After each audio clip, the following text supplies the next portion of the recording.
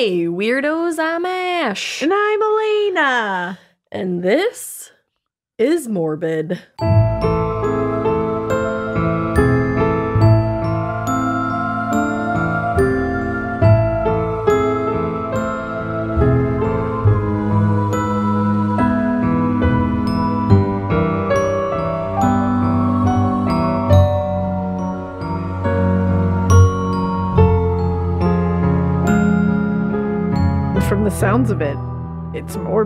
Yeah, we were talking about this earlier. It's uh fucking crazy. this case is berserk. berserk. Berserk. This case, as Caleb would say, goes crazy. I love when Caleb says that something goes crazy. He's like, that that's the way he says Yeah, it. That's it's- fine. It's, it's- like a face that he makes when Yeah. he says he's like, that goes crazy. Yeah. But it's better. It's way better actually. It's just a it's a way. Yeah. It's a way, it's a vibe, it's a feeling, it's an emotion. It is. Is what it is. It's snowing here. It is. It's like uh It's like sleeting. it's like fat snowing. Like Fat big fat snowing. snow coming down from the Like fluffy snow. it's flowing. It's what it- flowing. It's snowing. Yeah, what? What was it's, the last one? It's flowing. Uh, no, you slowly, slowly lost it. Well, because I added an L where one didn't couldn't be. Yeah, no, no. You know, flowing sounded good, but snow and that does not have. Is it flowing? It. it would be flowing if anything. Yeah, guys, we're a little tired today. it's Friday. It's Friday. It's Fryizzle. There you go. You're like, I'm not saying that. It's all that. it's all a bag of chips. okay, yeah, but we we got to get into this. My coffee has weaned the fuck off. Yeah, it's just one of those days. You know, it's after the holidays. Getting back into it. It's a lot of recordings. I'm gonna You're use. you're getting the like crazy punchy us. yeah, I'm gonna start using like you know it's after the holidays. I'm gonna start saying that in like July because One hundred percent. It's still It's after, after the the holidays. holidays. I'm Yeah. just gonna say that to fuck with people. Yeah, Or you could say it's almost the holidays. You know, it's almost the holidays, Yeah, so you I'm could just- stressed the fuck out. because it's always either after the holidays or almost the holidays at some point. Pretty much. So I think it's valid. I like it. I think it's pretty valid. I am into it. Uh, do it. I don't have anything else. All right, so my case. My case is like I said, it's pretty fucking out there. We are heading over to Mountain City, Tennessee, which is one of my favorite states to spell. It's actually my favorite state to Really? smell. Smell spell. And smell, I bet. I've never smelled it. I've never been to Barbecue. Tennessee. I would I would assume would smell really good there. Yeah, probably. Nashville? and the whiskey. Yeah, Nashville's got to smell great. Yeah, I want to go to Nashville. Me too. I think everybody does at We some should do that. Yeah, totally. let's, just, let's just go to Nashville. I think I've said this on the podcast before, but I got to do a project about Tennessee once and it made me happy. Like in school. Remember the state project? I do remember Mine was that. Tennessee, and ever since then I was like, I like Tennessee. Mine was Wisconsin. Boring. Yep. sure was. Loses entire Wisconsin listener base. I love you guys. I did you proud. I'm just kidding. No, Wisconsin. Is there like cheese in Wisconsin? yeah, cheese is a very big part of uh, Not boring at all. yeah, I love cheese. So Yeah. worked out for me. I love it there.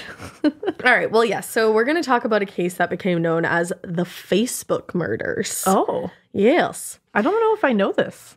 I don't know if you will, but I think you'll start if you if you do know it, I think you'll know pretty early on that y- that you know it. If you know, you know.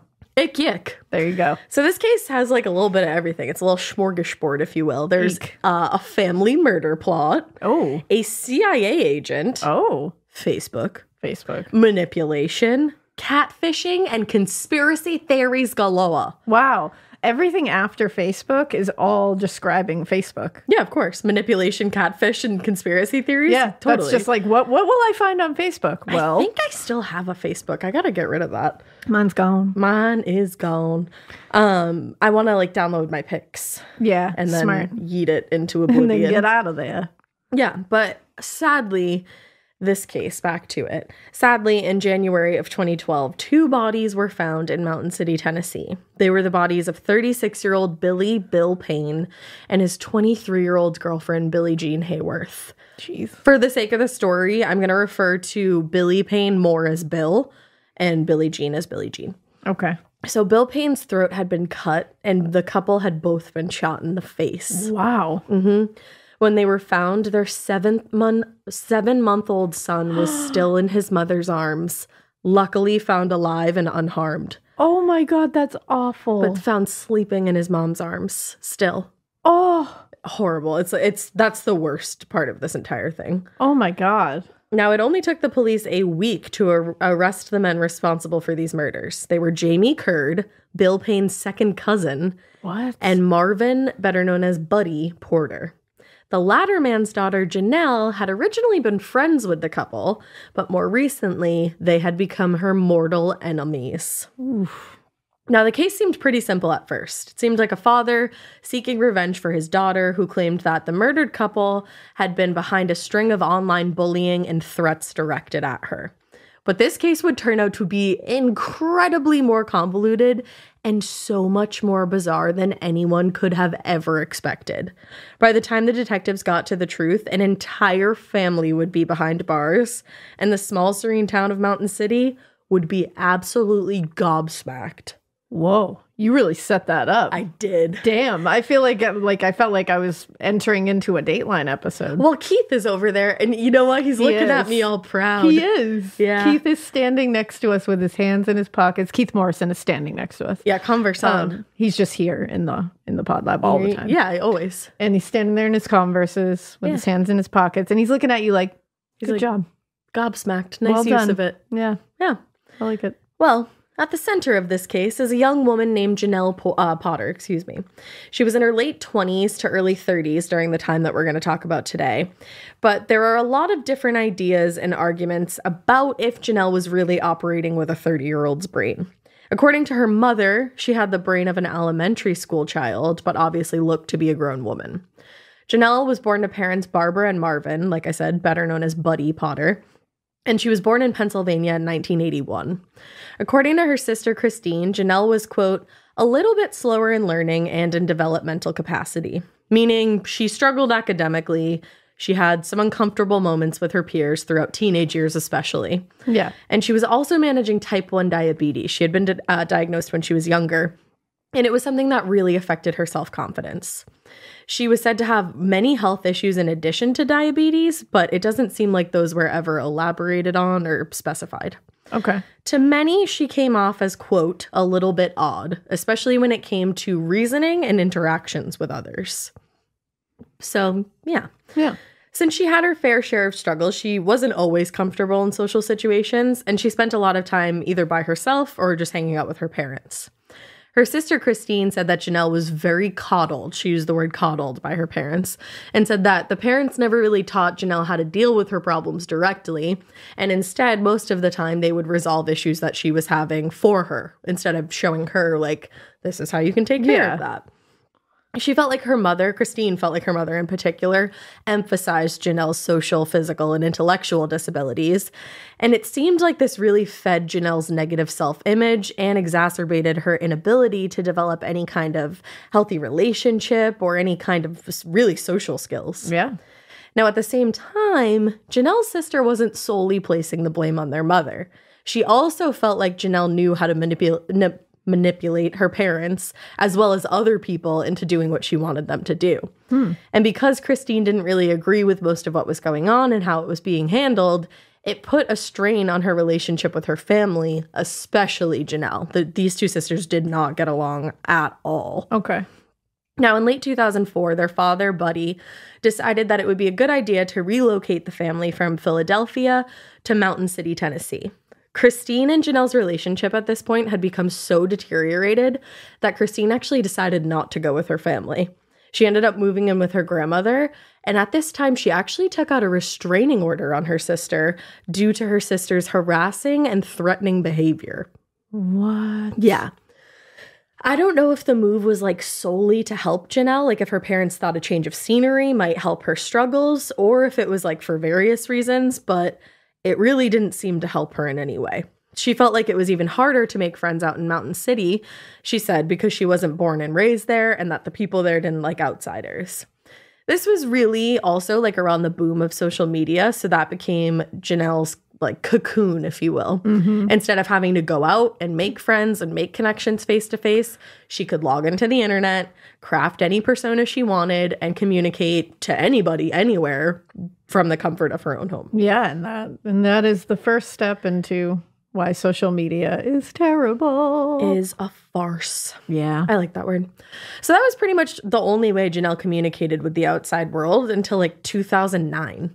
Wow. Now, at some point in 2009, she ran out to the local food lion to pick up a prescription, and a woman named Tracy Greenwell was working there. And she could kind of recognize that Jenelle was a bit awkward and didn't necessarily have fantastic social skills. But instead of avoiding Jenelle, she decided, like, why don't I try and befriend her? She doesn't seem like she has a lot of friends. And she has, like, she's kind of not new here, but she's been here a while and hasn't Yeah. made friends with anybody. Tracy went out of her way to call Jenelle. She would invite her out with her own friends so that she wouldn't be cooped up at home all the time with like just her parents as companions. I say, in a world full of assholes, be a Tracy. Oh, there you go. So, Jenelle's parents, who have been described many, many times over as very overprotective, they wanted Tracy to come over to the house for a couple times before they allowed to, Jenelle to go out with her. Okay. Now, remember, she's in her 20s, 30s, so Yeah, so that's like a different different scenario. Because at first I was like, I get that, but then she's not a teenager. She's, not, a, teenager. child. Yeah. According to her mother, she is a child. But I, So yeah. You so know- it's very convoluted. yeah, exactly. So once they were confident, though, that Tracy was good company, they did allow Jenelle to go out with her. And it wasn't long before Jenelle bonded with Tracy's group of friends. She was regularly hanging out with them. They took her rock climbing. There's like pictures of them hanging out together. It looked like they all had a great time. Yeah. Now, part of the friend group was Tracy's brother, Billy Payne. Jenelle immediately took a liking to Billy, who, like I said, was also referred to as Bill. Whenever the group would go out, both Tracy and Bill would also, Bill too, went out of his way to include Jenelle. He was like a good guy, just like his sister.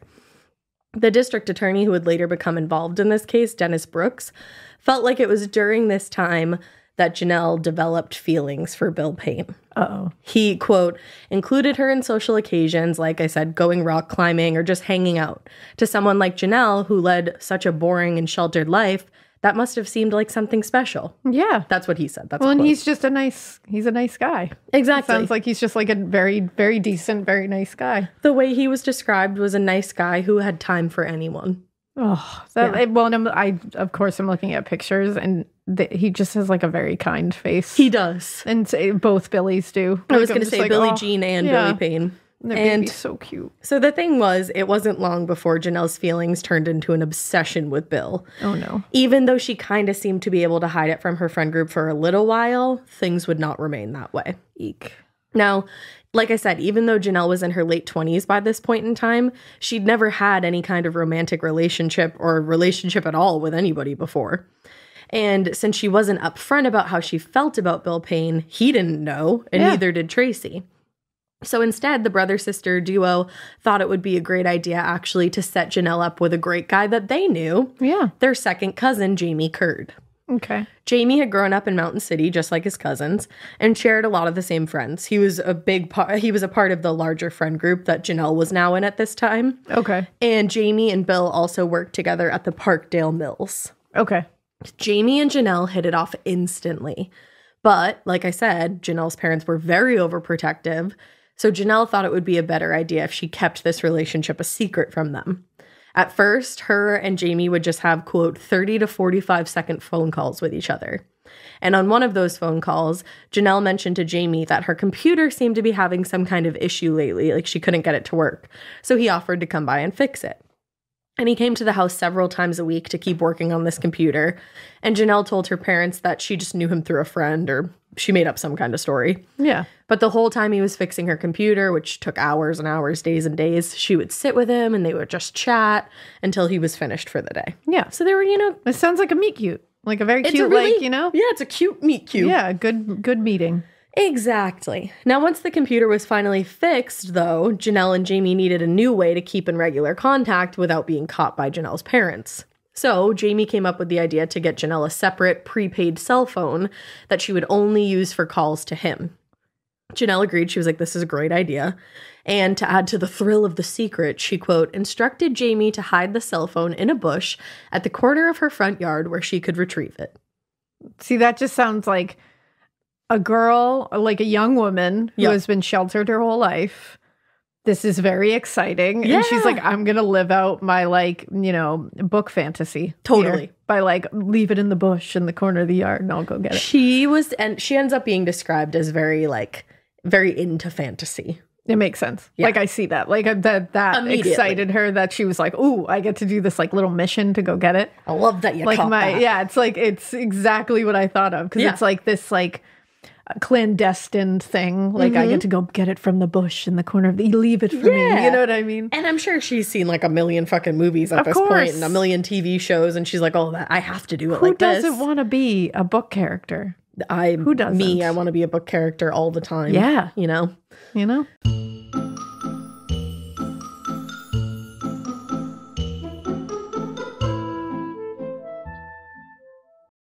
Did you know that property crimes like burglaries and package thefts spike over the winter? That's why now is the best time to secure your home with award winning home security. SimpliSafe is the home security system that I personally recommend to literally everybody. Make it your New Year's resolution. Start the new year with a greater peace of mind and safety for you and your family. I love it because I can deck my freaking house out with cameras. Every inch of my property is covered.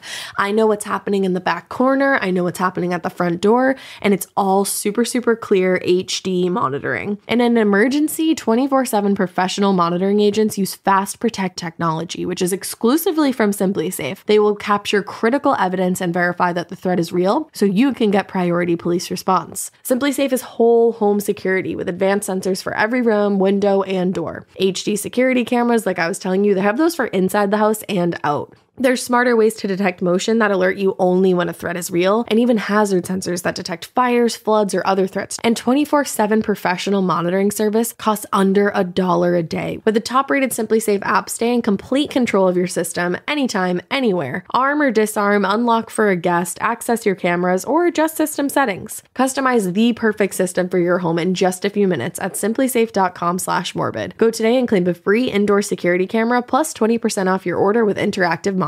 That's simplisafe.com slash morbid. There's no safe like SimpliSafe.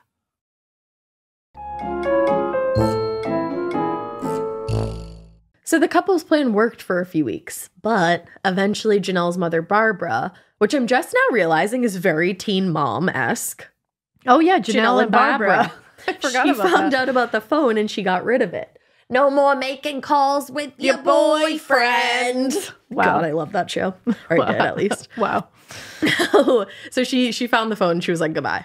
But Jamie actually just ended up getting Jenelle another phone, which he again hid in the front bushes. They didn't come up with a better idea. i was gonna say you gotta move it she didn't find it in the bushes. I Wow. think she just found like Jenelle using it and was like, what the fuck is that? Yeah. Like, but I'm like, you had a second opportunity to like do something even cooler. yeah put it somewhere else Yeah, you know. But anyway, she she continued to use that uh, phone strictly to calls to Jamie. So things went on like this for about six months, with Jenelle and Jamie sneaking around behind her parents' back. But by early 2010, a lot of Jenelle's friends kind of noticed a shift in her behavior. It was a bitty, a pretty big change in her personality. And it seemed her personality seemed to shift right around the time that Bill Payne started dating Billie Jean Hayworth. Eek. She was a local girl who he and Jamie actually both worked with at the mills.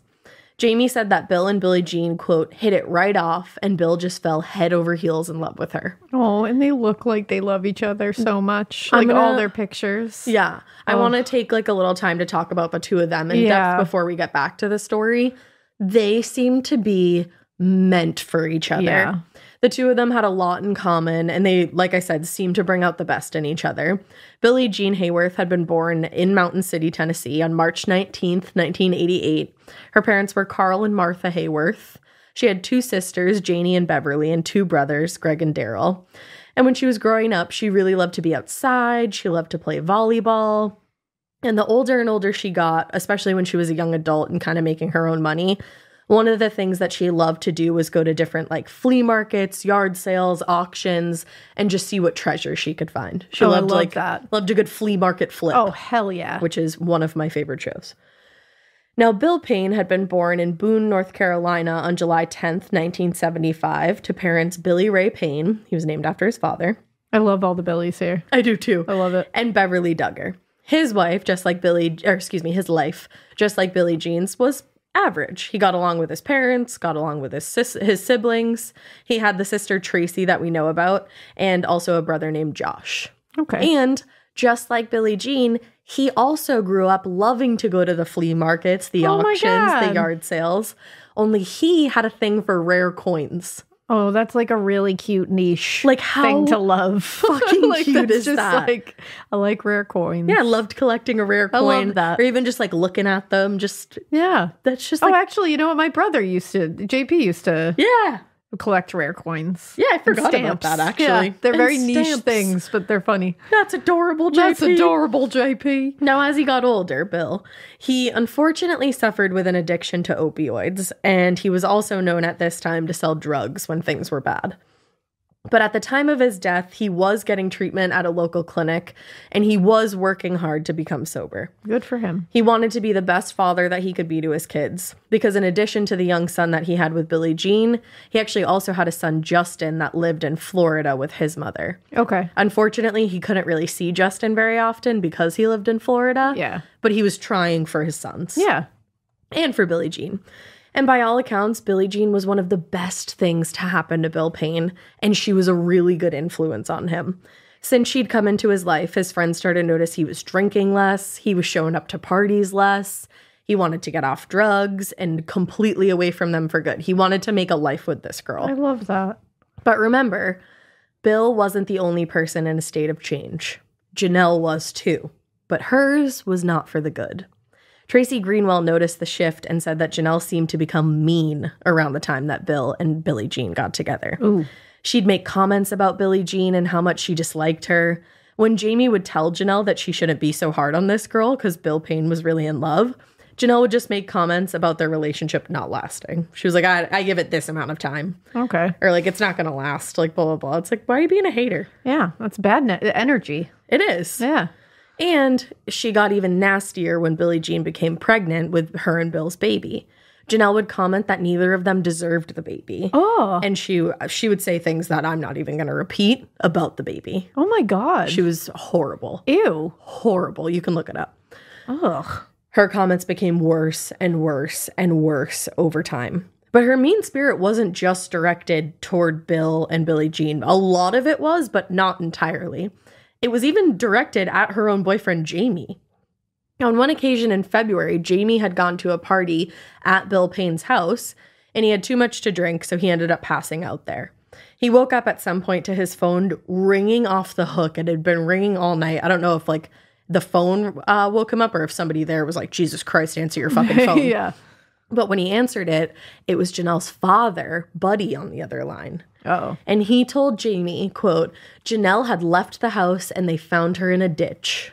What? He went on to say that Jenelle didn't love Jamie and he needed to stay away from Jenelle from that point forward. And then Jenelle got on the phone and told Jamie for herself that she didn't love him and she never wanted to see him again. What the fuck? Out of fucking nowhere.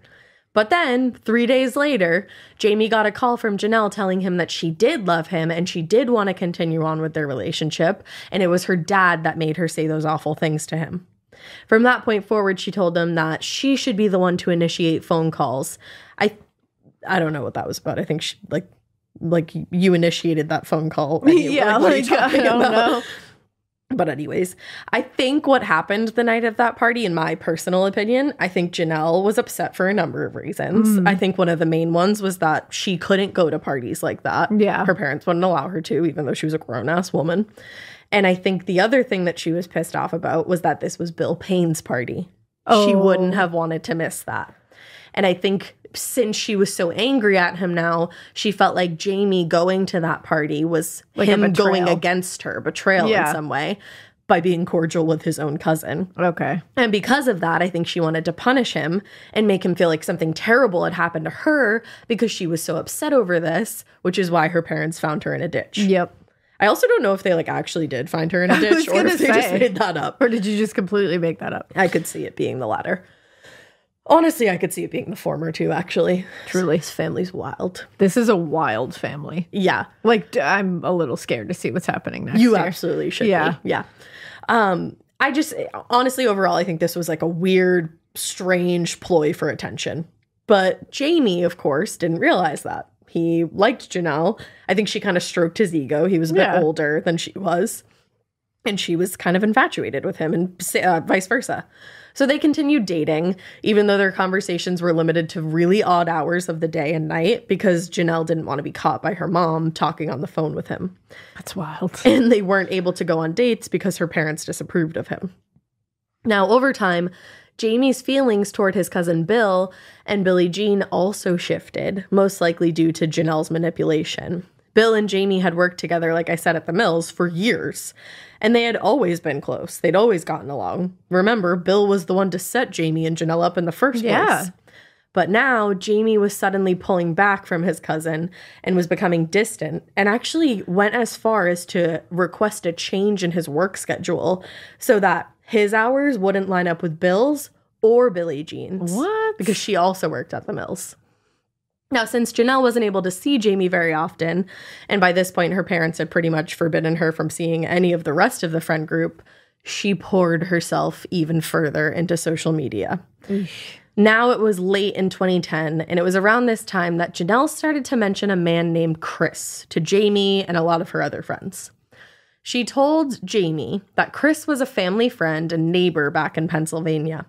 She said he grew up in the house next to hers. He was really more like a brother to her all throughout high school, and he always watched out for her. And now he worked for the CIA. And she was super, super excited because he was actually going to be transferred to Tennessee soon and he would actually be buying a house in Mountain City. Oh, and she was super, super stoked about it. And like I said, Jamie wasn't the only one to hear about Chris, this Chris character. One of Jenelle's friends online, strictly online, they never met in person, Bob Meehan also remembered that right around mid to late 2010, Jenelle kept bringing up Chris more and more frequently.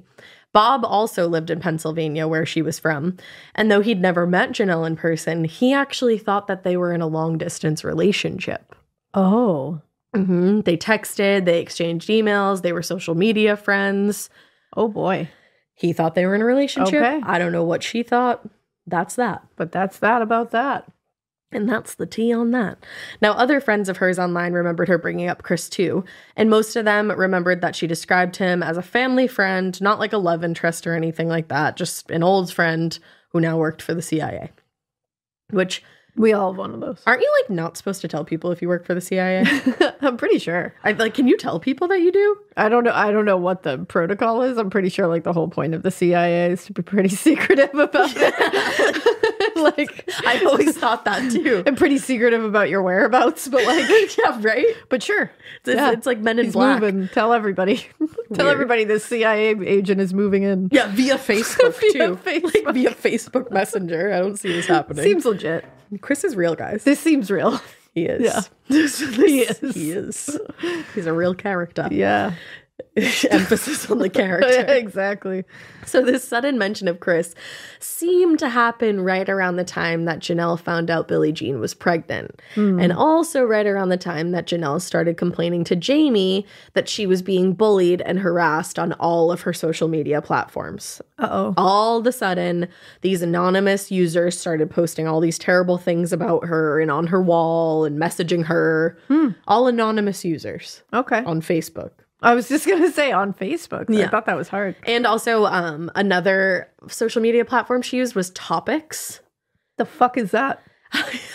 I've never heard of that in my life. neither had i i don't know if it just like didn't get big over here like what you don't know if it didn't get big. I guess it didn't get big know. over here. Like, do any of you use Topix? i don't know if it's around anymore but Did you use Topix? it, guys Answer. it's Topix with an x too Topix me. Let me know. it, it like um it, it, it gave you uh news based on like where you were and you could also interact with people in your area i guess oh, okay.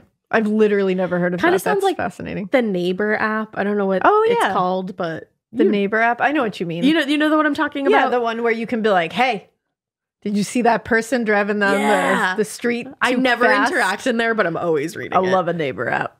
We love. we do be loving. Those are my social media apps, the neighbor apps where we can all spy on each other. You know what my favorite social media app is? DoorDash. Hell yeah. I communicate with one person and one person only, and they always bring me food. I great. shouldn't say always, actually. Sometimes they steal I was going to say sometimes they steal it. Not very frequently.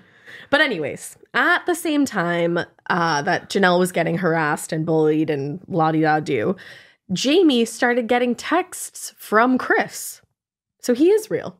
Oh, He's getting texts from him. yeah, obviously. Yeah, you can't fake that. He's like, no, not at all. He's like, Jenelle is getting bullied mercil- mercilessly and it needed to stop. I feel like you're the CIA agent. You fix it. That's what he's that's what he's saying. Yeah. So eventually Chris started emailing Jamie telling him more and more about the relentless online bullying and how he needed to put an end to it being her boyfriend. But strangely, the emails were coming from Jenelle's email account. They're coming from inside the house. They literally are coming Yeah. from inside the house. Yeah. And when Jamie asked why that was, Chris told him that he had a phobia of phones and didn't like using them. Apparently, he was also against having his own email address as well. he has a phobia of phones. Like, sir, you work for I the mean, like, Central Intelligence Agency. I don't. I don't like answering a phone call. Like a cold call is pretty. Don't ever fucking cold It's a call me. severe violation in my book. If we're friends and you cold call me, yeah, that's going to be a problem. But I would definitely not classify it as a phobia. I don't even know if there is a phobia. I don't know. I. I think you might have a phobia I know I really of don't like, like, texting. but even I don't say. Yeah, does anyone else get like? The, I'm sorry, I'm going to take you off no, track no, just ahead, really quick because I just need to know. Does anyone else get severe anxiety about texting? And does anybody else prefer to answer text messages on their laptop? Yeah, I don't like typing on my phone, and then I I get anxious when I get text messages, and then I don't answer them right away because that like I am who I am, And that's and then that I keep thinking about it. And days go by, and I go, "Oh no, I'm a week past this text message that I didn't answer." And then you get I get anxiety more about that. anxiety, and then I just, whoo, it's so I hate it. It's So, the one thing that I get a lot of anxiety about. You're waiting on a text back from Elena. It's coming. why. It's coming. I'm just real anxious about it. Okay. It's coming up. yeah. She's just really anxious. She'll get back to you soon. Oh. Yeah, that's that's my theme People song. are like, so- is this a listener tales episode? What the fuck? like nope. But yeah, I just had to throw that out there. No, I feel that. if you feel that way as well, you're not alone. well, I'm Chris felt that way. He said, Yeah. no phones. Chris scared feels of them. that way. Yep. The CIA doesn't make us use them. Nope. It's also like, okay, you can have a phobia of phones, but where the fuck is your email address? Well, that's the thing. Can't you have Like, one? You have not explained all of this, sir. I have no idea. But Jamie would later say that he could tell the difference between an email or a text that came from Chris because Chris was way more intense than Jenelle. Jenelle, quote, never cursed, never called people names, or spoke hatefully to people. What a mm-hmm. kind soul. Yeah. But Jamie said that Chris's communications were full of obscenities, ranting, and harmful wishes toward others, specifically Billie Jean and Bill Payne. And he's a CIA agent. Okay. I'm Yeah. just uh, putting together the pieces here. That's probably great qualities to have in a CIA agent. Wouldn't you also think, like, in my opinion, I would think that, like, even somebody's monitoring the CIA's communications. Yeah, I. The, the, I mean, this is adding up. This is legit. I, Yeah. I feel pretty Yeah. comfortable with this. You know, anyways. But when Chris wasn't going off about the couple, he would give Jamie advice on how to better his relationship with Jenelle. You know, because, like, the CIA also doubles as your own personal therapist. Absolutely. Mhm. Yeah. So when Jamie asked Jenelle about what was going on online, she told him that this harassment really came out of nowhere, and like I said, was a I said like I said so many times during this. Like I said. sorry, I'm, I will come up with something else, but was a slew of anonymous comments to her Facebook page telling her she was a bad person, and this is intense. That they were going to have her raped. Oh my God. Yeah. That's horrific. The comments had escalated so much over the course of a couple of weeks that Jenelle's mother, Barbara, actually ended up posting her own comment to Jenelle's wall, begging the anonymous comment- commentators to stop and not, please not do this to her daughter. That's awful. Like, Barbara was really distraught over this. yeah, of course. But just delete your Facebook. Exactly. Yeah, if that was happening, you got Or just like make a new one with like Yeah. a different name or Get something. out of there. But so Barbara was really, really concerned. But this was interesting because Jenelle's friends didn't really seem to be too concerned about this. They Hmm. felt like there was something really suspicious about all of this, Yeah. and they didn't really seem to think any of it was real. Tracy Greenwell, Weird. yeah, Tracy Greenwell later said, quote, Jenelle was always saying that somebody was mad at her, somebody hated her, somebody wanted to kill her. She was paranoid about it. Ah. So Jenelle was frustrated that her friends didn't believe her, and she insisted that the danger she was facing was very real. And over weeks, the tension was building and building, and Jenelle was starting to point the finger at four people within her very own friend group. Hmm. A girl named Lindsay Thomas, the girl, the first girl who had ever befriended her in this town, Tracy Greenwell, Aw. Tracy's brother Bill Payne, and Bill Payne's girlfriend, Billie Jean. Aw, come on. Now, within this same time period, Jenelle called the police to her home and reported that a rock had been thrown into her front yard and it had the names Billy Payne and Billie Jean painted on it. And she felt like this was proof that they were the ones behind all the harassment. Okay. So, to retaliate, she started posting on Facebook calling Lindsay Thomas and Billie Jean mean girls and sharing screenshots that were clearly doctored and manipulated to seem like these girls were harassing her. Wow. Doesn't seem like they were. Wow. But because of this sudden shift in her behavior and resulting turmoil, pretty much everybody in the friend group ended up unfriending her. Yeah, of course. And they all removed themselves from her orbit to kind of save themselves from the drama of it all. And the rest of them were like, Jesus Christ, when is she going to turn on me? Of course. Yeah. So Jenelle just kept on posting about them, though. Lindsay Thomas actually called Jenelle on the phone on one occasion when she found out that Jenelle was writing about her on Facebook. And she was like, please, can you just like stop this? Like, you gotta stop, girlfriend. What a terrible era we live in Oh my God, I know. where these things are like, this person wrote this about me on Facebook. Oh God. High school. It's a, the pendulum has to swing the other way eventually. Seriously. And mind you, these are people in their like like 20s and 30s. Yeah. It's like what what are you doing? It's still happening. I mean, they're being these other people are being dragged into this. so Yeah, of it's course. crazy. But some of them some of them kind of start to partake a little bit. I think they start getting pissed off that they've of been course, people get sucked into that. stuff. Exactly. No, anyways, according to Lindsay, Jenelle told her when she called her that she had no idea what she was talking about. And she said she wasn't posting anything about Lindsay or Billy or Billie Jean, nobody. Yet, right after this exchange, Lindsay started getting calls from the Potter's home line where the caller would just breathe heavily, but other than that, say you nothing at all. me? Like, girly, star 69 it. Seriously. Come on. But there were a couple of instances, though, where a man got on the phone.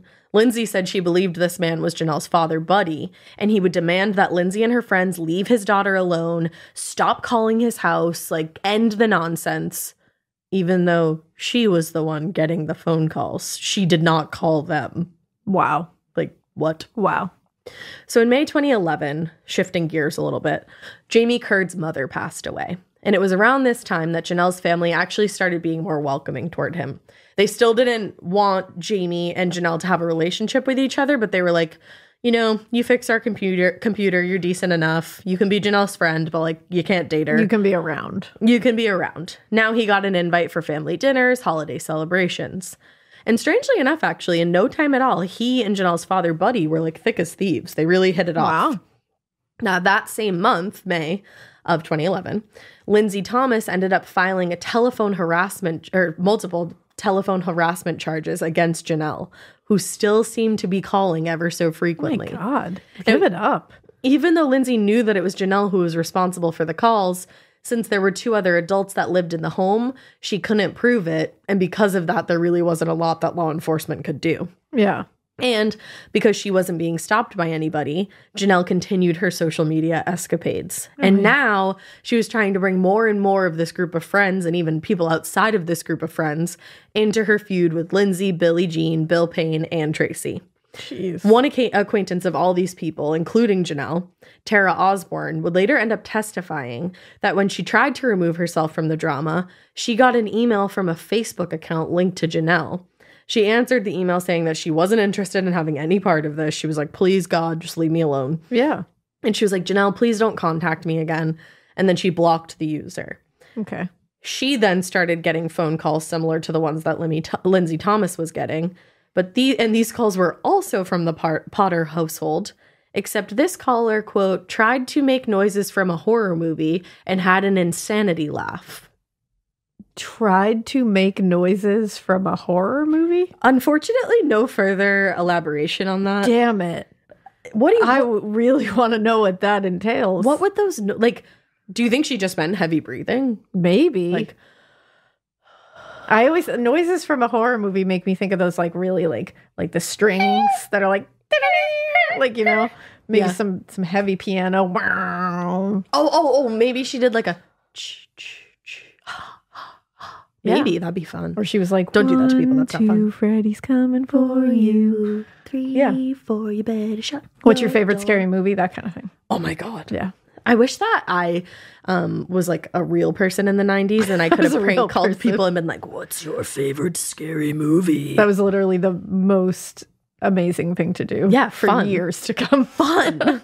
I love it. But yeah, I don't I don't know. Um, Yeah, I don't know Also an is. insanity laugh. I don't really know Insanity laugh. either. Yeah, I don't know. I, I just hear the wicked witch. Um, yeah. yeah, like a cackle. Yeah. Mm-hmm. Well, anyways, um, Osborne also tried to file telephone harassment charges against Jenelle, but a clerical clerical error caused her case to be dismissed. Okay. Yeah. Love those clerical errors. Yeah, I don't know. Now, while everybody was getting more and more concerned about the situ- situation that Jenelle was creating for them, Jenelle's CIA buddy, Chris, he was getting pissed the fuck off about the way she was being treated. And now Jenelle's parents were hearing about Chris too. And anytime Jamie Curd would come over, he and Jenelle's parents would talk about the latest ongoings in the feud and how concerned they were about their sweet, precious Jenelle. Jenelle's mother, Barbara, commented to Jamie that Chris was, quote, angry and firing back at Thomas and Hayworth with emails, and it was like a war. Hmm. Yeah.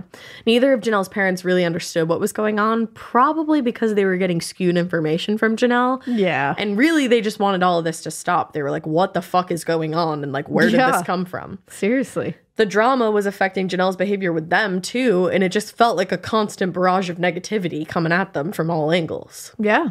So, this seems to be the tipping point in the story. According to Jamie, Buddy Potter talked a lot about his quote, missions in other countries during his time in the CIA. Yes, you heard that right. Chris was not the only secret agent in this town, baby. What? Buddy Potter also claimed to have worked for the agency. Huh. Uh huh. Huh. Mm hmm. Okay. Yeah. Okay. That's that, really. That's the that's the that on that. That's the that, that, that. uh, there you go. But Jamie knew that Buddy Potter was also an avid gun collector. Not only were there tons and tons and tons of guns in the home, but Buddy Potter kept two strapped to him at all times. Okay. He would have one in a shoulder harness and another in a holster that he kept strapped around his ankle. There's actually a picture that I saw of him and Barbara gardening together, and he has a gun strapped on him and a um uh, sling of ammunition. Oh yeah, I saw that in their gardening. They're just gardening. I saw that and he is fucking packed, stacked. uh yeah, pat he's packing. He's packing. He's That's yeah, that's say. what it is. Stacked? Pa- packed, stacked. I don't know. Packed? Whacked? Like what's going on? I am but a little innocent girl. like I don't know how to say I'm it. like he has guns. don't know how to say it. He there was guns everywhere in this house. He actually had to carry like an oxygen tank around with him. Just he had like some medical problems of his own, and there was ammunition slung around his oxygen tank. Wow. Okay. Like a choice and a half. a bold choice. bold move. But Buddy and Barbara both seemed to be getting more and more aggressive about the situation with Jenelle and eager, Jamie felt, to do whatever they needed to end it themselves. And I think he was kind of starting to get a little bit freaked out by this. Hmm. But at the same time, Jamie would later say that when Buddy and Barbara were getting aggressive, Jenelle would just stay quiet. And he was like, I was really confused by this because whenever we talked about it, Jenelle had no problem sharing her opinions freely, discussing the whole entire feud at length with me. But around her parents, he put it that she, quote, acted like a needy kid to a parent Huh. Manipulation. at its finest.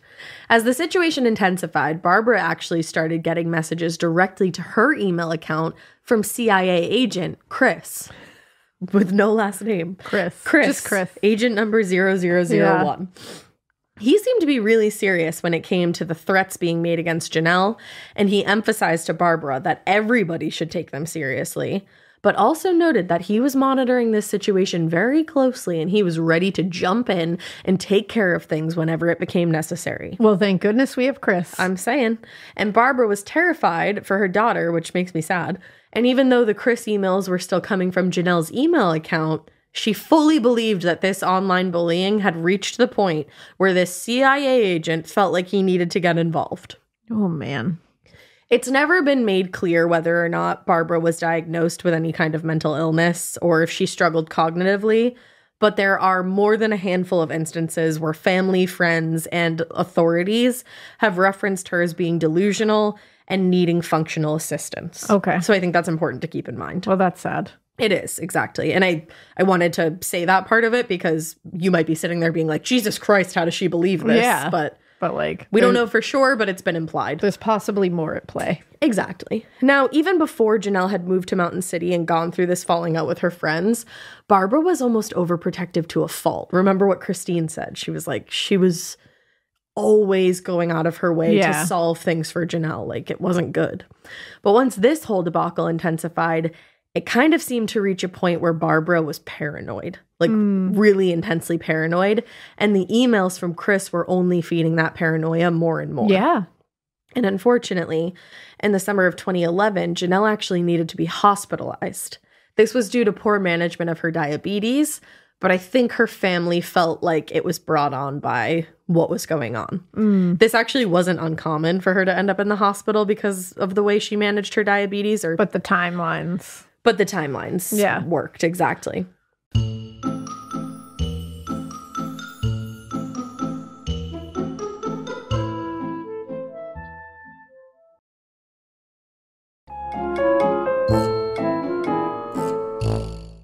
Now, while Jenelle was hospitalized, the number of emails from CIA agent Chris to Jamie and Barbara reached a new level. There were tons and tons of emails being received daily, almost like he got like a week off from work or something, Wow.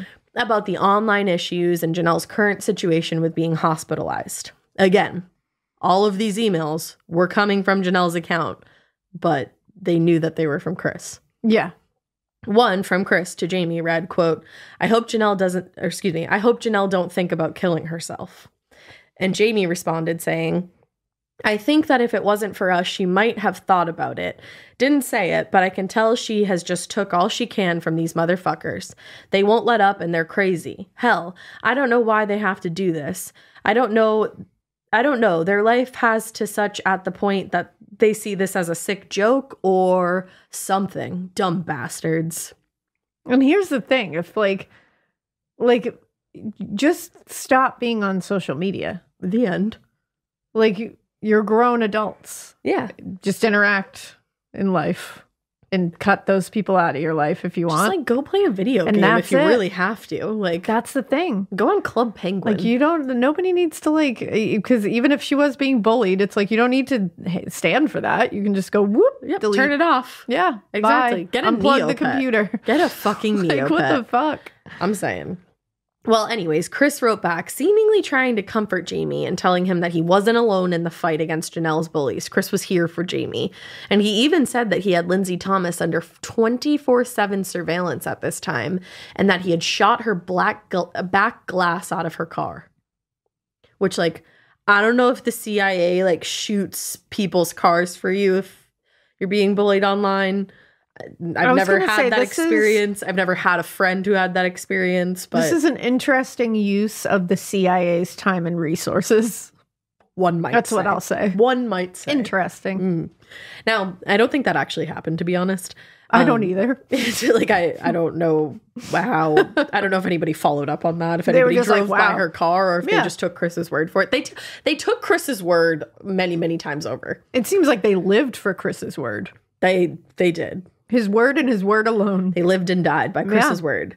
But to be honest, even though there were pending telephone harassment charges and from time to time rebuttal posts on Facebook from the people that Jenelle was pointing the finger at, they were all just going on with their lives and doing the best they could to avoid the drama and avoid Jamie and Jenelle. They were like, I I can't. This would be so scary that someone focused on you like that, and you're like, I just want to live my life and like Yeah. without you in it. Like, please just go away. When you never bullied them in the first place. I as we all know at this point, I'm thinking, this came from pure jealousy on Jenelle's part to Billie Jean. Yeah, because Jenelle had feelings for Bill Payne. She never did anything about it, but because she liked him, she felt like Billie Jean was in the wrong for dating him. And it's like he's allowed to not like you, to not be attracted to you. he might he might have even been at some point in time, Yeah. but she never expressed those feelings. But also, he's And- allowed to not be attracted to you. yeah, You can just be friends. That's he a doesn't have thing. to like you just because you're a woman. Like, Right. Jesus. Not everyone is attracted to everyone. exactly. You find people hot that I'm like, I don't think so, and vice versa. Yeah. You know, it's like everybody has a different type. Exactly. It's ridiculous. It's freaking ridiculous. It's freaking ridiculous. But everybody's trying to move on with this. Yeah. And Tracy Greenwell, Bill Payne, Billie Jean, and Lindsay Thomas were really specifically trying to rid themselves of this situation. But at that same time, Chris was making sure that Jamie Curd, Buddy, and Barbara Potter were heavily immersed in this. Ugh. It was consuming their lives at this what point. What a way to live. consuming It sounds their like lives. a fucking nightmare. It is. Now, in late October of 2011, Lindsay Thomas actually, um, her telephone harassment case against Jenelle went to court. Mm. And unfortunately was dismissed pretty quickly because, again, there wasn't a lot of proof. I was gonna say those things are so hard to prove. too. Exactly. Now, this dismissal, though, seemed to embolden not only Jenelle, but Barbara Potter. Ooh. In the weeks that followed, they stepped up their harassment. And actually, just a few days after the court appearance, Billie Jean Hayworth was at a local gas station filling up her car with her baby in the back seat. Oh God. And Jenelle and Barbara were in the car behind Billie's. And so they followed her into this gas station and they started screaming at her that she was white trash and that she didn't deserve her son, Oh my God. and like a slew of other threats. Ew. According to her close friend Linda, who was actually working inside in the gas station at the time, Billie raced into the store with her baby and she was, quote, crying, trembling, and shaking. Oh my God. She was terrified of these holding her baby. Just filling up her car, Yeah. going about her day, living her life. Ugh. And there was also tension between Jamie Curd and Bill Payne at this time. The cousins. Like, remember, they're Yeah. family. Yeah. Though they didn't have to work together very often at the mill anymore, since Jamie had requested not to be scheduled at the same time as either person, the, uh, the couple, there were instances where it was inevitable. They Yeah. were like, you got to fucking work together because that's a schedule. Yeah. That's a schedule. So during some of those work. yeah, exactly. During some of those instances, there were arguments between the cousins, especially over the fact that Jamie had blindly taken Jenelle's side without even hearing his own cousin's account of what was really going Yeah. on here. And Bill also knew that Jamie was going back to Jenelle and telling her everything that had been said during these arguments because then Jenelle would take to social media and air everything oh out. Oh my God. So he's like, "Oh, I'm trying to talk to you like human to human, man to man. Yeah. This is so pathetic. Yeah, exactly. Truly. Exactly. Now, finally, there was one night where Bill actually called his cousin Jamie in an attempt to end the feud once and for all. He was like, Me and Billie Jean started keeping a record of emails and social media posts and comments directed at us by Jenelle and Barbara. And he told him the file was now more than two inches thick. Jesus. They had that much. But agreed that it wasn't just Jenelle and Barbara involved in this fight. He said there were hurtful remarks made on both sides now that they were in the thick of this. But this had all started with Jenelle. And now they were reaching a point of being threatened and it needed to stop. He was like, You got to do something, dude. As my cousin, like, you got to stop Yeah. this. And he also told Jamie that there was no way an actual CIA agent was involved in this No. and that Chris was clearly Jenelle. Yeah. I mean, the emails were literally coming from her email account, guys. They're coming from inside the house. but Jamie did not believe that Jenelle was capable of doing something like that. And so it seems like the call really ended with no resolution between the Wow. cousins. Wow. And as the virtual feud was making its way into the real world, the tone of Chris's emails to Barbara Potter was getting graphic and dire. He kept urging her that if she didn't stop all of this soon, then, quote, all of this crap might kill her daughter. He told Barbara that he was ready and willing to kill Billie Jean Hayworth and Bill Payne My and God. anybody else who posed a serious threat to Jenelle. And Chris also kept mentioning that he wished Buddy Potter still had his ID from his days in the CIA because then they would be able to work together to quote, neutralize this threat. Wow. As if the CIA wouldn't have a record of everyone who ever worked for them. Yeah. It's like, what? Yeah. So, as Barbara, Buddy, and Jamie were dragged further and further into this strange fantasy turned conspiracy that Jenelle and this Chris character had created, Jenelle was still posting under fake names across several social media platforms. She was constantly calling Lindsay Thomas and Billie Jane Billie Jean Hayworth mean whores, Oh. saying that they should be punished and making vaguely threatening comments toward the entire group that she considered to be her bullies. Chris actually started using Jenelle's Facebook account during this time as well and really amped up in the last months of 2011. In a post from December 14th, 2011, quote, Chris posted a status on Jenelle's account saying, to Bill Payne, Billie Jean Hayworth, Lindsay Thomas, and Tara, and Brad Osborne, and etc. Please leave, L E V E, Jenelle alone and stop with the harassment and stop trying to run her life. Look at your own lives and work on that. BC, you are all just a bunch of white trash, no good, ugly people that love to hurt others. Well, you need to think of this. Take care of your kids, Billy and Billie Jean. And Lindy, get off your meth drugs and stop going after my sister and my family. Thank you. Or you can just go jump off a mountain, MTN, for all I care. You all need to get out of my sister's life. You know, CIA things. That's very CIA. Very C- much CIA. Every there. every CIA. A lot of very professional. Yes. So these posts were commented on over and over again by Barbara, who started calling Chris her son at this point. Chris had Oh, started boy. calling Jenelle his sister. So he she was like, "All right, well, he's my son then." Ooh, there's a lot going on here. There's a lot Yeah. of untreated mental illness yes, in my own personal lot. opinion. Yeah. But pretty much all of these posts just had a slew of comments from Barbara, Chris, and Jenelle. They were all talking to each other back and forth. And now Chris was saying that there were not only Jenelle, uh, excuse me, not only threats to Jenelle's life, but to Buddy and Barbara's as well. He had found evidence that people were after them now. I don't even know what's happening right now. Like this is wild. Wild.com. Now, by the new year, 2012, Buddy believed that Janelle's former friends were working on plans to, quote, take Jenelle and cut her head off and then kill him and his wife. Because that's what Chris had said he found. He found Oh my these threats. god. So on the evening of January 30th, 2012, Barbara called Jamie Curd and asked if he would stop by the house to take a look at their computer. While Jamie was alone with Buddy, Buddy asked if Jamie would, quote, do him a favor. He wanted Jamie to take him down to Bill Payne's house and, quote, let him out and go down the road and come pick him up. Okay. Jamie would later say that Buddy wasn't being very specific about why he wanted to go out to Bill's house that night. So he left and went back to his own home. He was like, I don't know about this. But very early the next morning, like first couple hours of the morning of January 31st, 2012, Jamie missed a call from the Potter household.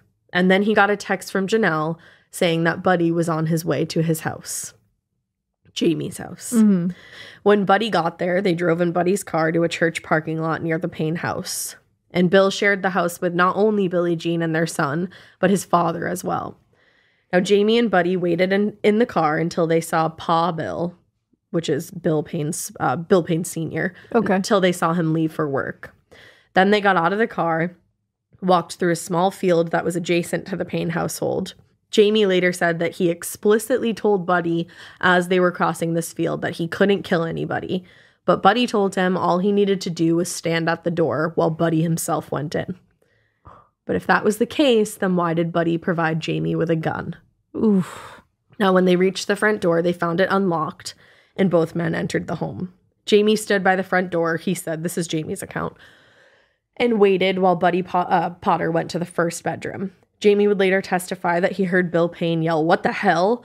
And then he saw Billie Jean run out of the room down the hall.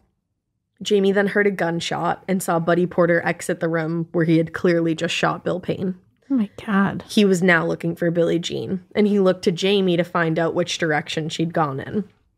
Jamie said he pointed in the direction where he saw Billie Jean run, and while Buddy went in that direction, Jamie looked into the first bedroom and saw his cousin lying dead. What the fuck?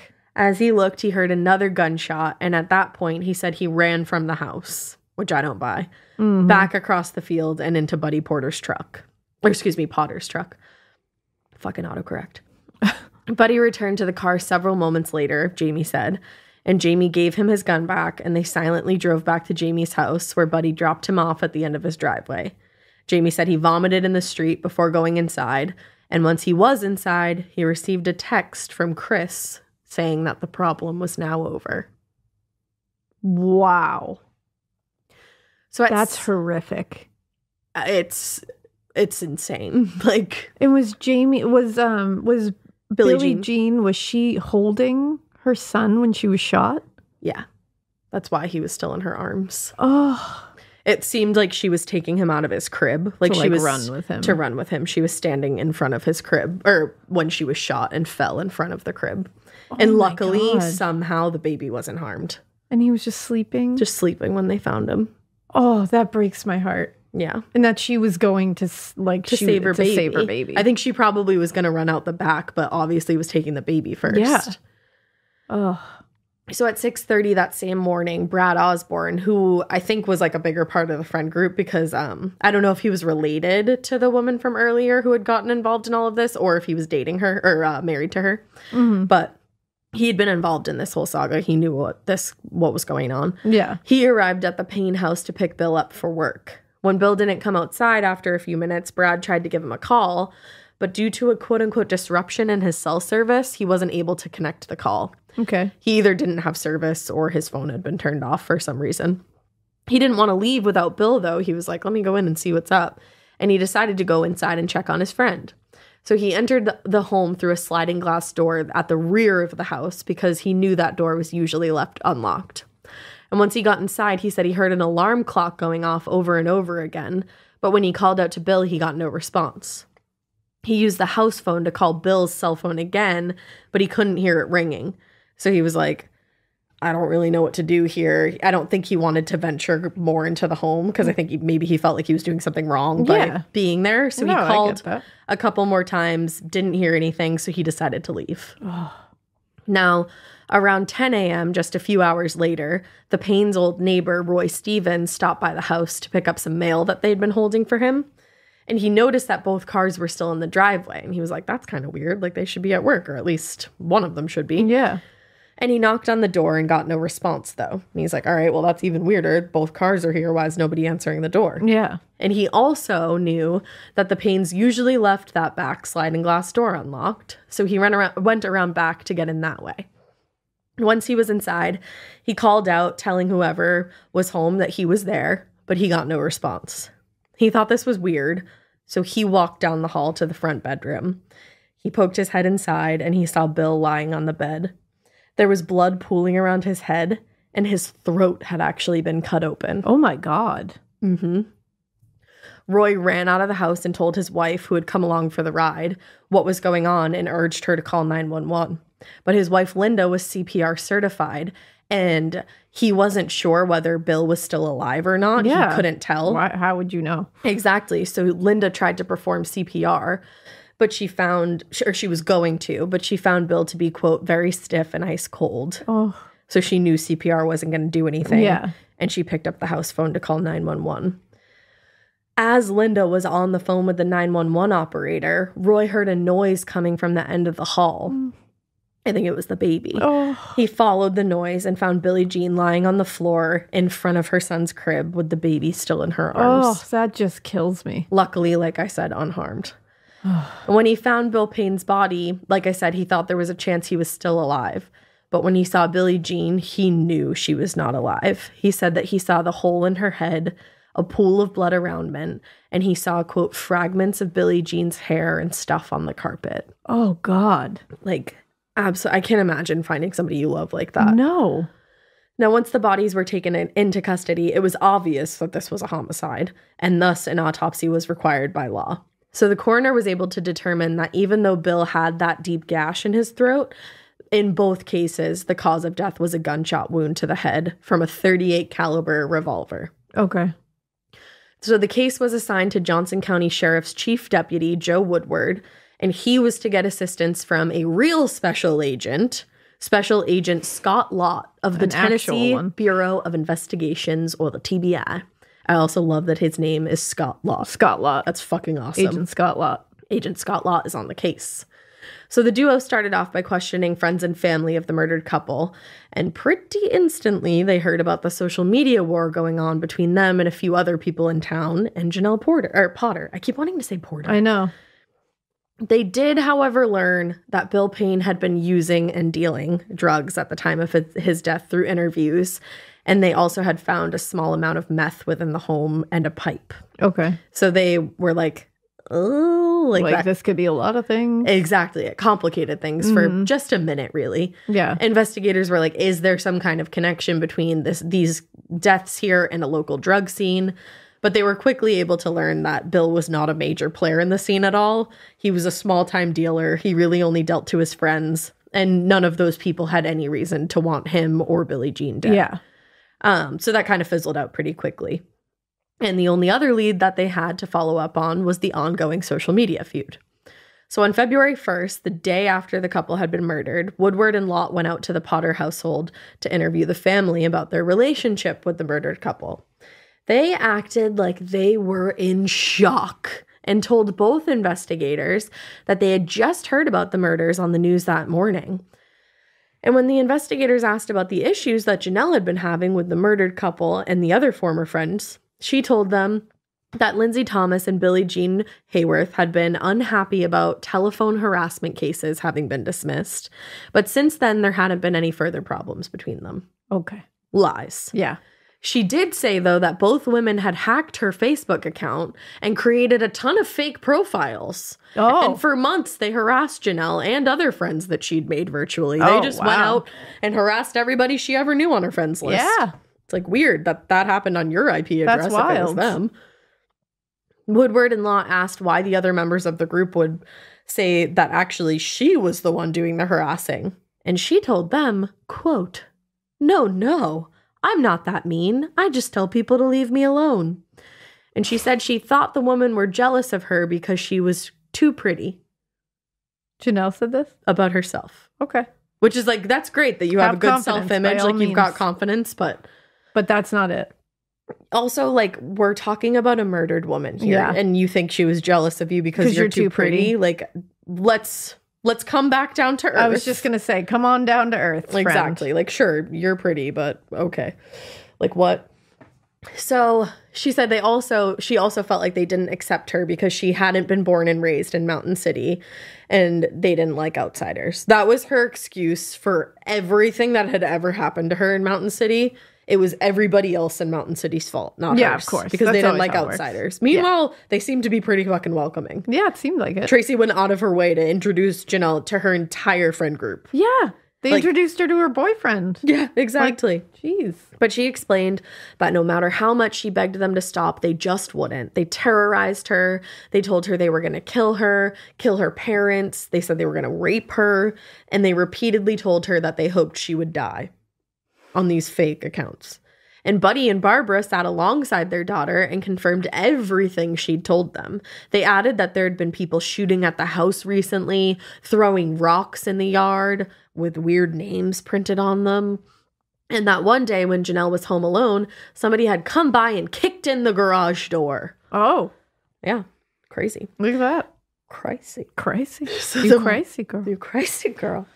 The more and more they heard, the stranger this all sounded. This is an agent for the the Bureau of Investigation. And he's like- what the fuck? He's like, I don't think so. And what stood out as particularly strange to Agent Law in particular was that Jenelle seemed to be minimizing Jamie Curd's involvement. He was like, I Mm. thought he was a bigger part of this whole friend group. Like, so why? And he's, he didn't know that Jamie Curd was Jenelle's boyfriend, but he suspected it Ah. because Jenelle actually, remember, her parents still didn't know they were Oh, dating. yeah, because they're just supposed to be friends. She denied that she and Jamie were romantically involved. I'm, yeah. And she seemed to be steering any questions they had about him in the opposite direction.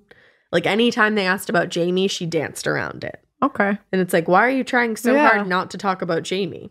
Hmm. She was like, nope, we're just friends. And sometimes he comes by to help the computer. The end. Okay. She was going out of her way to talk about anything and anyone other than Jamie, which only made investigators want to talk to him even more. Yeah, like of course. it was a horrible idea. So the first interview they had with Jamie was two days after this. It was a pretty unproductive meeting, other than the fact that he agreed to take a polygraph test. Other than that, he claimed he knew nothing about the murders. He really didn't have anything to say. But then he was picked up again for an interview on February 6th. And this time, investigators would get the break in the case that they'd been hoping for.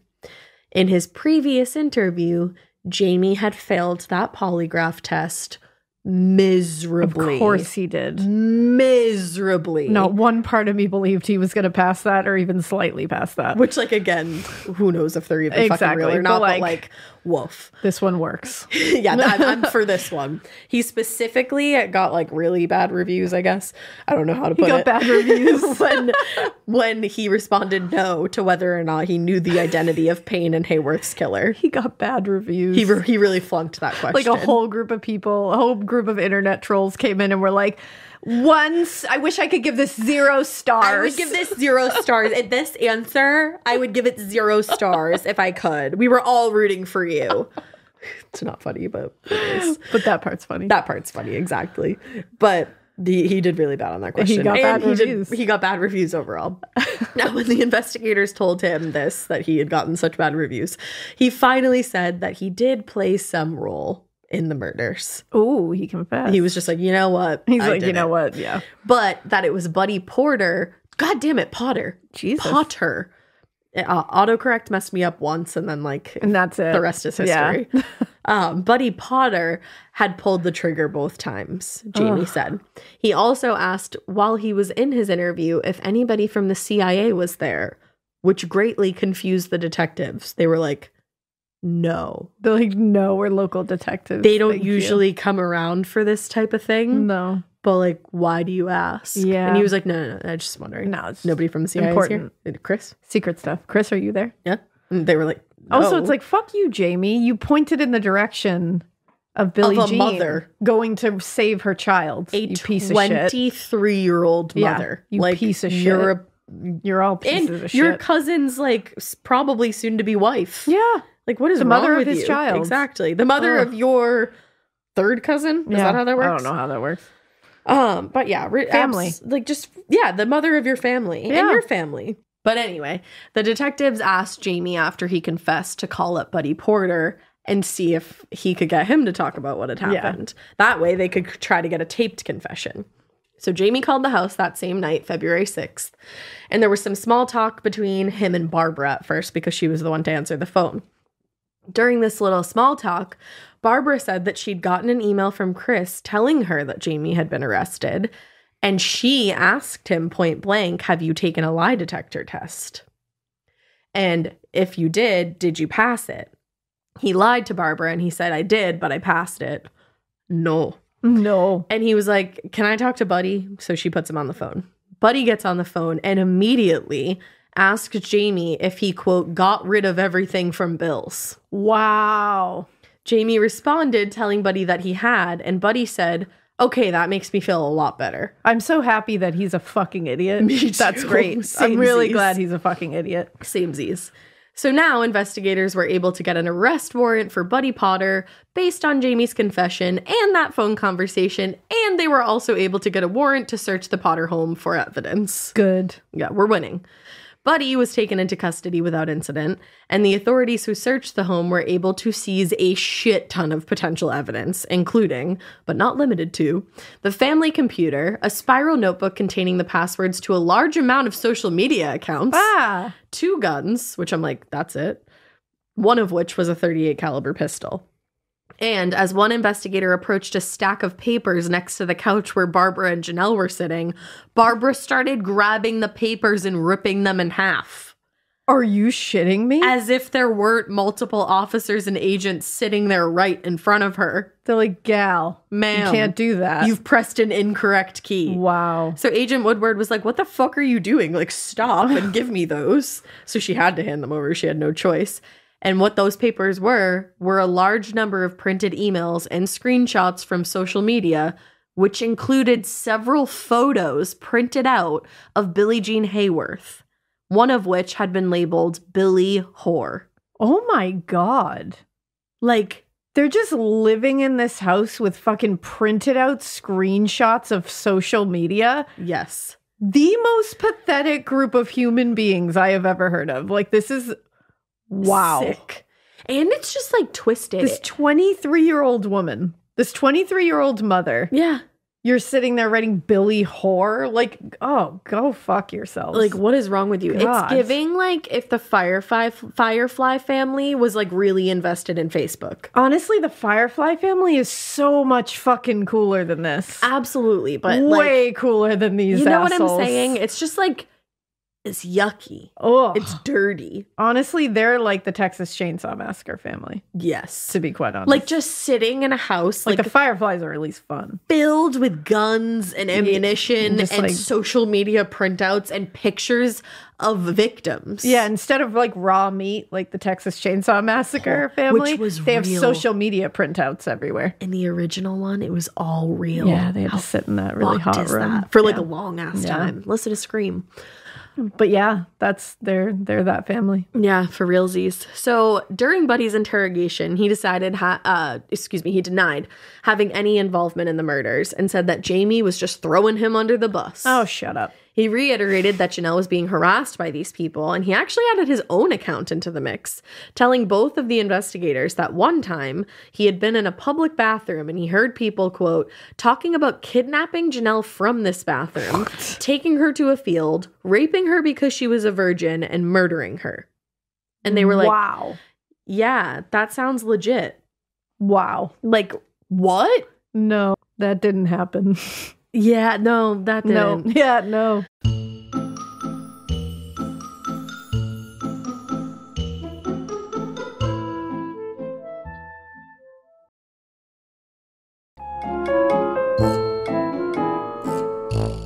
So Woodward and Lott then shifted the conversation because they were like, I don't really know where to go from here. I guess we'll turn all the lights down now.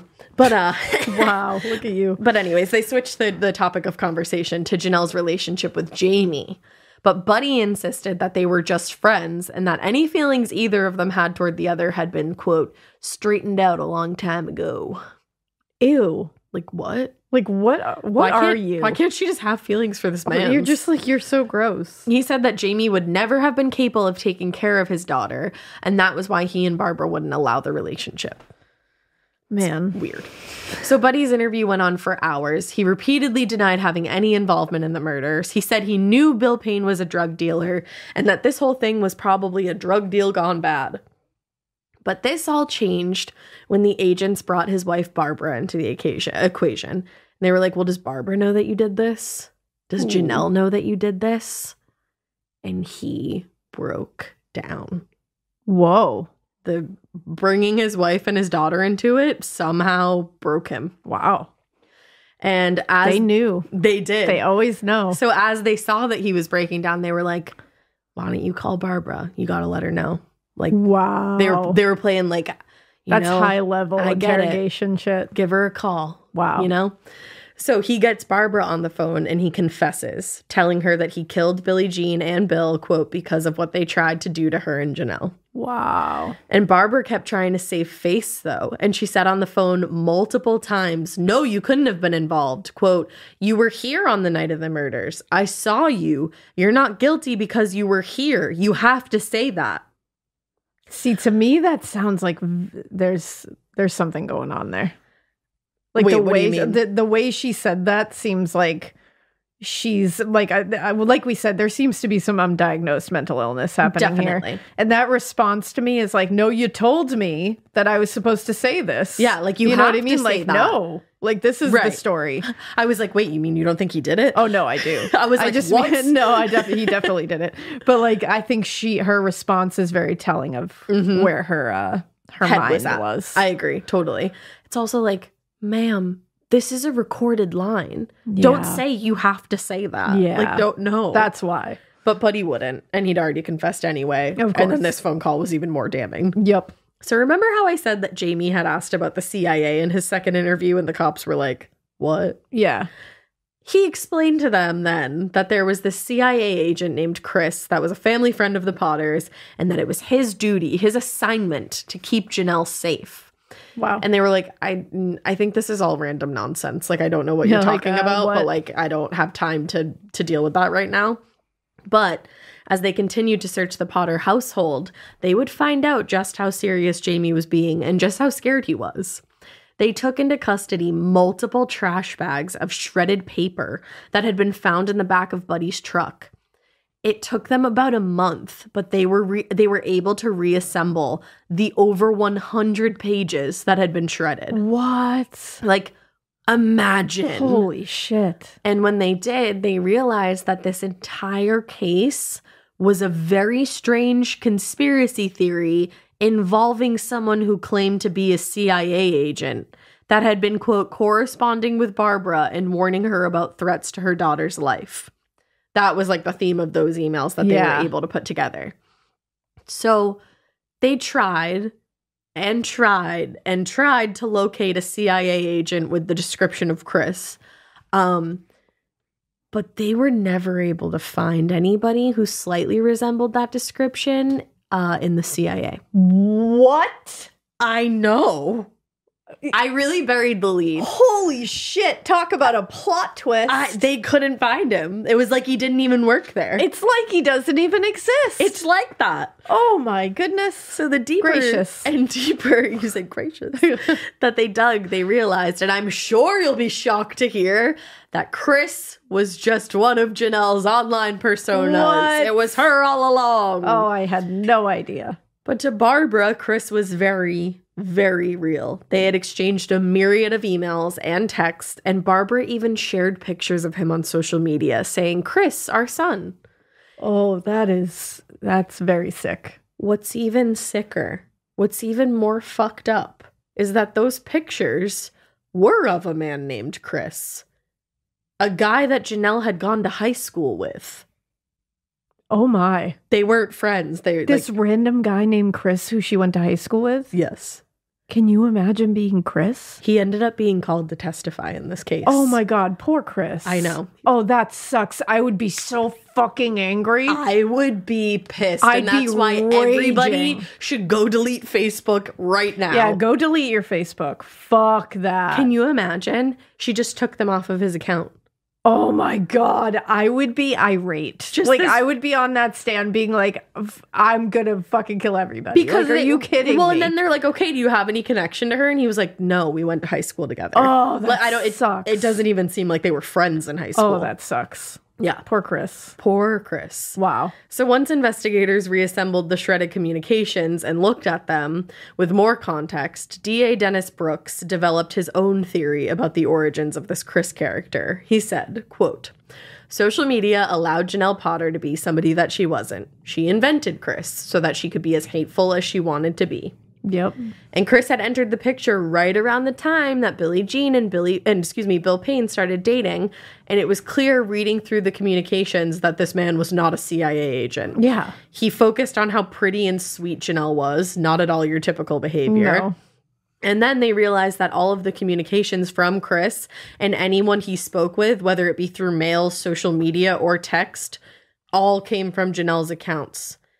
The fact that that was just overlooked, Even like it was her phone like, number. Come on. Like when she was when the these people were getting texts from Chris, it was coming from Jenelle's phone.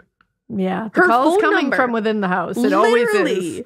Also, when they compared Chris's writing with Jenelle's, it was identical. She had a very specific style of writing. She often made spelling mistakes and grammar mistakes, and coincidentally, Chris made those exact same ones. Particularly, um, like she spelled worry, W O R R I E. Oh, so did yeah, Chris. those are very specific. um like there were there's a few others that Just I didn't that end up writing down, but like they're all very specific. Yeah. And it's very specific words. There's a few more I wish I'd written them down. But um, but yeah. yeah. So Buddy Porter and Jamie Curd were indicted for the murders, and while some Mountain City citizens were shocked, many who worked in law enforcement or law administration were not at all shocked by this. Really? They had become familiar with Jenelle and her parents throughout the years that they'd lived in Yeah. Mountain City. The mayor, Mike Reese, put it this way to the press Once you've crossed Jenelle, you've crossed her father too. Ooh. Even the stranger aspects of the case actually sounded familiar to anybody who had a quote unquote run in with Jenelle. The mayor Like th- this girl was on the mayor's radar. Yeah, that's pretty big. He actually said, "This is wicked bizarre." He Wicked actually, bizarre, I, said- I did that on purpose. He said that a year or so earlier, the Potters were upset. Specifically, Buddy like had called him and said that, "quote The nine one one director had taken Jenelle off his list." What? The mayor literally had no idea what this meant, but knew that Jenelle Potter was always up to some kind of scheming and telling her mom and dad that she was the one being schemed. So Jenelle is just like oh, just She's manipulating her parents. shit up. All it's just time. like her sister said. Her sister was like, she manipulates Yeah. you guys into Absolutely. doing whatever she wants you to do, including fucking murder. Holy shit. So Buddy's trial began in October of 2013, and there was obviously a shit ton of evidence and uh, taped confessions going against him.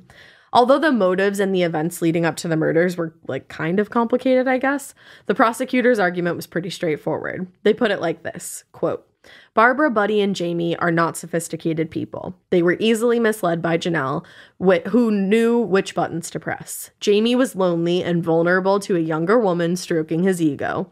He'd never been out of Mountain City, never been popular. Barbara also had some kind of mental disorder in which there always has to be a controversy or conspiracy going on. She was fixated on conflicts. Buddy liked to think of himself as a government operative. Most people figured Jenelle out, that she was a bit of a fantasist. That's why she struggled to make and keep friends. But not these three. It was the perfect storm. Jesus. So Jenelle, it, that's why I was so excited when you said like, "Oh, it's like the fantasy." Yeah, it all. I was like, "Mhm." Yeah, no. I was like, "You got it." you got it. Jenelle knew that her parents were incredibly overprotective and also knew that they didn't really understand social media. So she used Chris to amplify fake threats against her and eventually threats to everybody else in the family, making them feel like they were unsafe. Yeah. She was manipulating everybody around her to murder these people that she perceived to be her enemies for some reason or another. She also knew that Jamie's weak what Jamie's weaknesses were and she exploited him. She knew he was in love with her and that he was desperate to be accepted by her family. So mm-hmm. she inserted him right into the drama, had him get buddy buddy with her dad, and figured out a way for the two of them to want to protect her and be willing to murder to protect her. Wow. And when he asked why he why would he believe that he was talking to a CIA agent without any evidence of it at all, Jamie answered, "Well, I mean, I thought Chris was real. I mean, I thought there was a, you know, someone that I was talking to there and that Jenelle, the way she would talk to me, it was like bonding, like a family. Wow. Like I think he, she just she just manipulated the shit That's out the of these thing. Like people. she, man- this is wild how she was able to manipulate these people. I think that they just bel blindly believed her. Like Yeah. I don't I don't know what it was about her story. I don't know what it was about their relationship with her. wow. This is like really sick. Yeah. All the way around. It is. So, needless to say, in October of 2013, Buddy was found guilty on two counts of first degree murder, and he was sentenced to two life sentences. Oh, damn. Mm-hmm. Good. Jamie Curd pled guilty, but since he agreed to testify against Buddy Potter, he was given a lesser sentence and he got 25 years in prison. Damn. Yeah. It's I'm actually surprised he got that. I was hoping you would get that. I am too. You know how these things usually shake out. because, well, they weren't able to prove who had really done the killing. That's the thing. You know, like, yeah, still to this day, nobody that's knows the story. But That's the story. And still to this day, nobody knows who was the one to slash Bill Payne's throat. I was gonna ask that because I didn't hear that come up. So it's like, no, what the hell happened? it's just, it's Buddy's word against Jamie's. Nobody else was there. Are they? Are both of them saying that the other one did it? Mm-hmm. Yeah. uh buddy's buddy says that uh i'll get there but Okay. but uh jamie said that buddy did everything Okay. he said he he was just the lookout He was there basically. to look out. now obviously there was no doubt that jamie and buddy had been the ones to go out there and kill bill and billie jean regardless of who pulled the trigger Yeah. but investigators also at the same time knew that Barbara and Jenelle played a key role in orchestrating this entire thing. If it Yeah. weren't for them, this wouldn't have happened. Absolutely. But the problem was that it was going to be kind of difficult to prosecute a person for murder if they weren't actually present for the killings. Yeah. Of course. But this DA was willing to try. And just a few months Good. after Buddy's conviction, a grand jury did end up indicting both Jenelle and Barbara Potter for murder and for tampering with evidence. Good. There was a lot of holdup going into trial. I think so many technicalities and like this is a very unprecedented thing to try two women who for murder who weren't actually at the murder Yeah. site. But eventually they got there and the double trial began May 2015. They were being tried at the same time. Okay. DA Dennis Brooks was facing multiple hurdles, but made pretty much the same case to the jury that he had in Buddy's trial. Even though neither women before the jury had pulled the trigger, the murders, just like I said a minute ago, would not have happened if it weren't for them. The way that the DA put it to ABC News, Jenelle kind of spurred it, and Barbara got it to happen. Yeah. Now, the evidence presented to the jury was damning to say the least. It showed them exactly who Janelle was a woman caught up in some kind of fantasy turned conspiracy that eventually ended up in murder. And it never seemed like either wom- woman was unaware that their implications could have led to murder. And it really didn't seem like they gave a shit about the consequences of those implications. Yeah. They both wanted these people dead and knew how and knew they would get there. So it took about a week to get through testimony and all the evidence, and at the end of the trial, both of them were found guilty on all counts. Damn. And both were sentenced to life in prison. holy shit, really? Jenelle will be 80 years old before she's eligible for parole. And if Barbara and Buddy were to serve their full sentences, they'll they'll die in prison. Wow.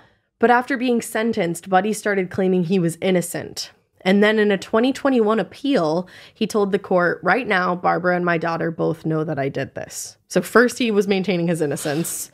Then he said that Now they he's like, he did it. they know I did it. But like I was saying earlier, he alluded that it was Jamie Curd who had killed Billie Jean. He said, oh, I Oh, yeah. killed Billy Payne.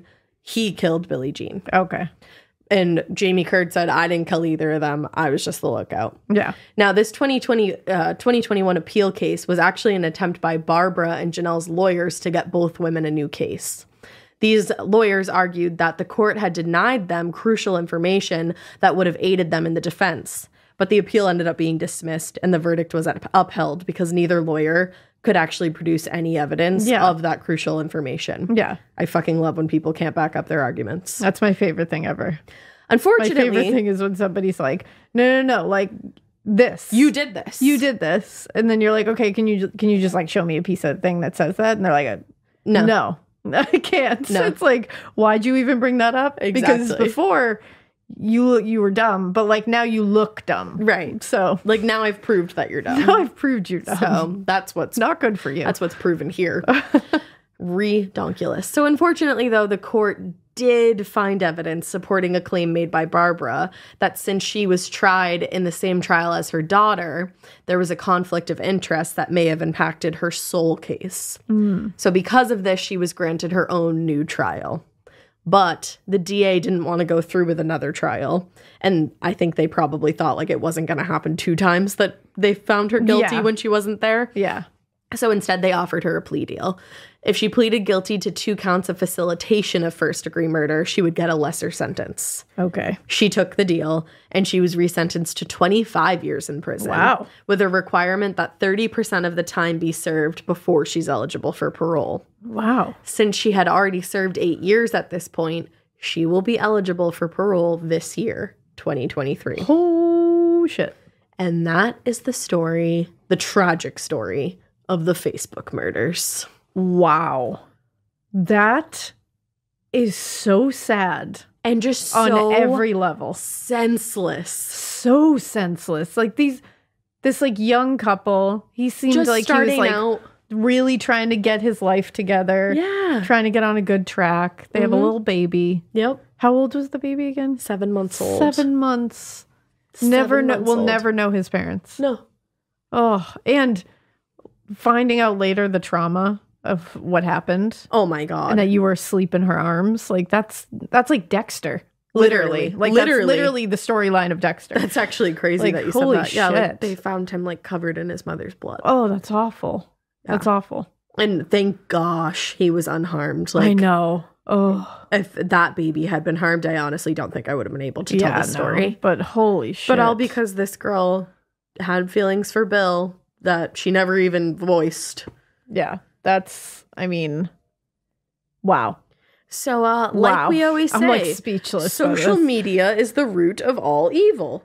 It really And this is. proves it. It's just become a thing where it's like, what's the fucking point Why are anymore? we here? Honestly, what's the point? Legit. It's Get, a, so get an email address. Get an email address. That's it. Don't even get an email Yeah. address. Just have a phobia of phones. just have a pho- have a phobia of phones like, Like, Chris. CIA agent. Chris. No one. just Chris. It's just Chris. It's like Madonna. It's just Chris. Everybody knows me. CIA Chris. agent Chris. So hot right now.